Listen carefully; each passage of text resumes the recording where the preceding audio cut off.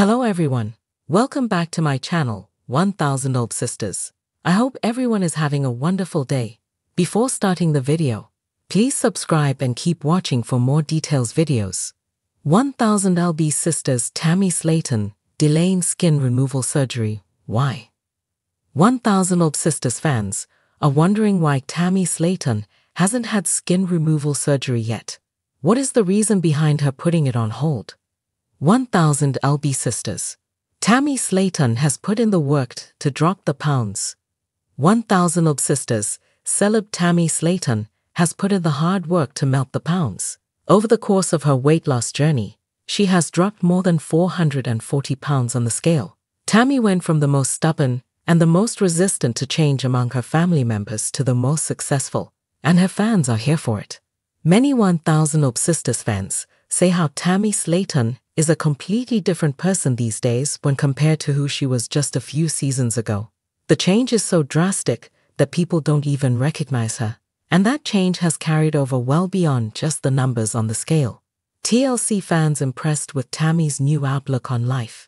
Tammy Slaton's drastic change on the scale is impressive by itself, but that isn't the only thing that 1000 LB Sisters fans have been noticing. Tammy's weight loss has also changed her mood and her outlook on life considerably. Tammy Slaton has gone from being combative and argumentative in 1000 LB Sisters scenes to being the voice of reason among her family members. Where Tammy once would throw more fuel on the fire, she now has the presence of mind to stay calm and de-escalate situations. In all the ways, 1000 LB Sisters fans are seeing a new Tammy Slaton. She transformed her health both physically and mentally, and many TLC fans are proud of her and how far she has come. 1000 LB Sisters. Why hasn't Tammy Slaton had skin removal surgery yet? With as much progress as Tammy Slaton has made, and with how successful she has been, many 1000 LB Sisters fans wonder why she hasn't had skin removal surgery yet.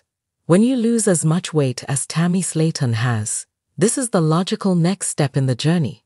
Unfortunately, getting the surgery isn't as easy as one might think. There are steps to go through, as well as things to consider before you ever go under the knife. The procedure itself comes with a lot of risks, including blood clots, loss of skin sensation, bleeding, bruising, and scarring.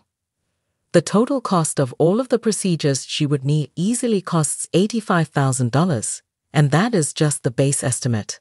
So going in for skin removal isn't cheap by any means. Another factor is that, since Tammy's weight loss is relatively recent, most doctors want to see that this is a permanent change.